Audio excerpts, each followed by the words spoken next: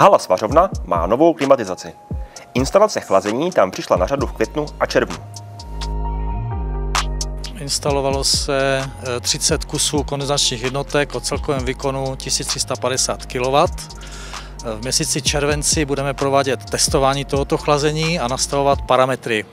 Už v loňském roce byla klimatizace nainstalována na hale finální montáže. V horkých dnech tak vylepšuje pracovní prostředí. Celková cena instalovaného zařízení bylo kolem 13 milionů korun. Provoz bude řízen stejně jako na montážní hale, to znamená eh, start chlazení při průměrné teplotě v hale 27 stupňů a vypnutí při průměrné teplotě 25 stupňů. Lepšímu klimatu na halách pomáhá také ventilace pomocí otevíratelných střešních světlíků nebo větracích otvorů na fasádách.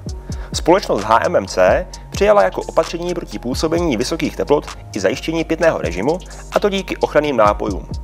Mezi další opatření patří bezpečnostní přestávky.